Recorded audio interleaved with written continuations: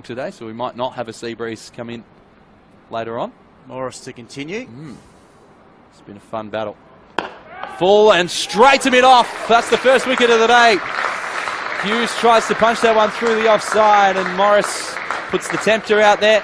And Dan Hughes is the first wicket to fall. And one for 30 New South Wales. And it's Lance Morris who gets reward for what's been a pretty good bowling spell to start the day.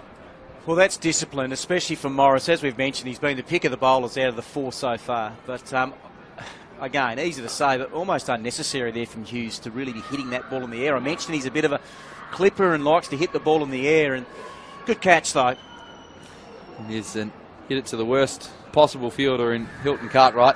He's one at mid off there. We'll take a look at it here, and yeah, that's regulation yeah. for Cart- Hilton Cartwright. And as you know, Jordan Cartwright is, is the, in the top two on the field for, for fielders, and he's not going to be dropping those. And you can see the disappointment, the despondent look there of uh, Daniel Hughes, but um, got himself into a point and um, effectively gave his wicket away. But well bowled, Morris. You've got to give the bowler credit, put it in the right spot for a couple in. Morris getting short and wide, and a great catch at gully by Paris. Diving away to his right. Morris baited Nikitaras into the shot.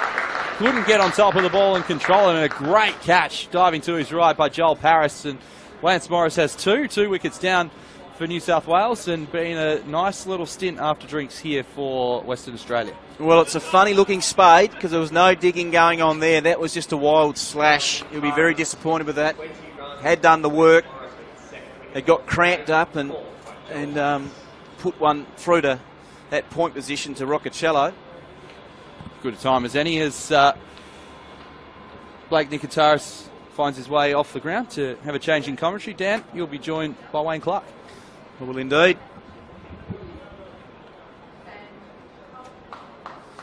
So Patterson remains out there on two. All of a sudden, as Wayne Clark rejoins me. New South Wales in a spot of bother at two for 37. Curtis Patterson on two, and the previous wicket was the youngster there in Nikitaras. A whitish gully, a point. Morris. Sangha beaten, he's caught! That's good bowling from Lance Morris. He deserved that. Sangha fishing outside off stump, and a good catch taken by Philippe. That's a big wicket, Jenny. That's a massive wicket. Sangha, He's looked probably the most confident out of both of them, and Heater Parts caught behind for 21. He was just starting to, to look like he wanted to up his own run scoring rate, a bit more intent to score we'd seen in the last few, but just a great delivery, back of a length. Uh, we spoke about saying and not really committing forward with a small step, and you see it in reverse there, and it's probably been his undoing. Just a tiny sort of shifts his weight back to the back foot. It was still partly on the front foot, sliding around not sure they trust the power output probably to, to do it. So get overheated very quickly in that area. As that one's top edge, there's a man down at fine leg. Will it carry it? Will, and it's taken. Fanning gets himself amongst the action with his first catch in first class cricket, and key wicket goes down, looking to be aggressive. Henriques gets the top edge, and a wicket for Joel Paris. Well, a regretful wicket again for a, a, leading player of the New South Wales side.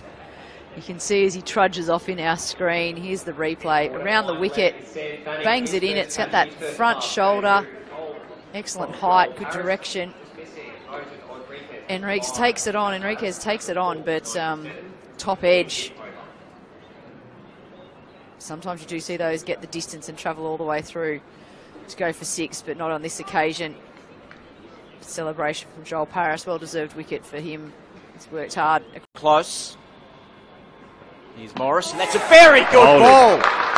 Nothing short about that, Wayne Clark. It crashed into the off stump and the middle. That was an absolute ripper. And that would sum up that stump to stump bowling that Morris has been so good at the whole afternoon. He's probably carried the WA side in that realm, other than Matthew Kelly and Paris. But that was a beauty to get rid of Holt. Well, that was a belter. He just beat him with pace then, didn't he? He just uh, a perfectly pitched Yorker. Just watching that now, right up just played over the top. Didn't move his feet. They, they looked like they were nailed to the ground there, and really just beat him with pace. So it's been a very, very imp- impressive performance by Lance Morris. We've seen him For six, back over the, the top of the spinner's head. Paris. LB.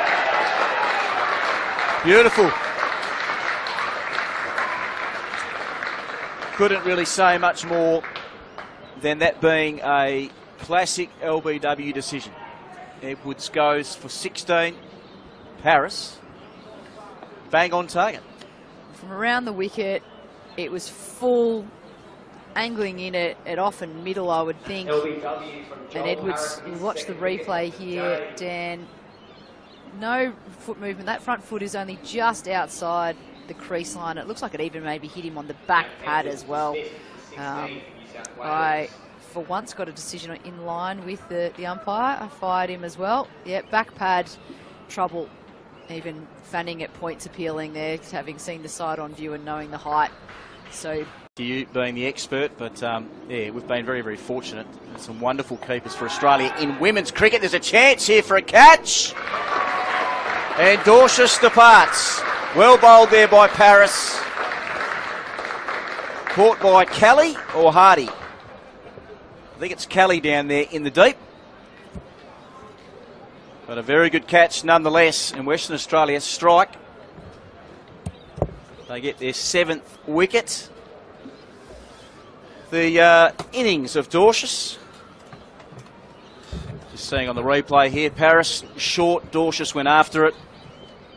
Kelly is the man that I called out there.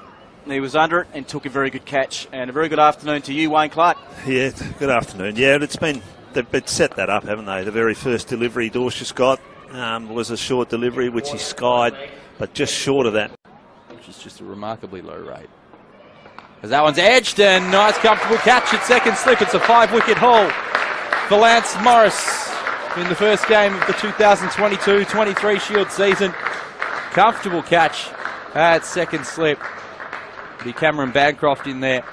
And five wickets for Morris, eight wickets down now for New South Wales as Tremain works his way back to the pavilion. There you go. Ideal delivery to tail ender, just forcing them back, squaring up over the top of off. And Tremain, yeah, good enough to, to find the edge, not good enough to, to control that ball and dead bat it any further. And a great five for, for Lance Morris. He's been excellent today. You were just touching on the fact that his accuracy and his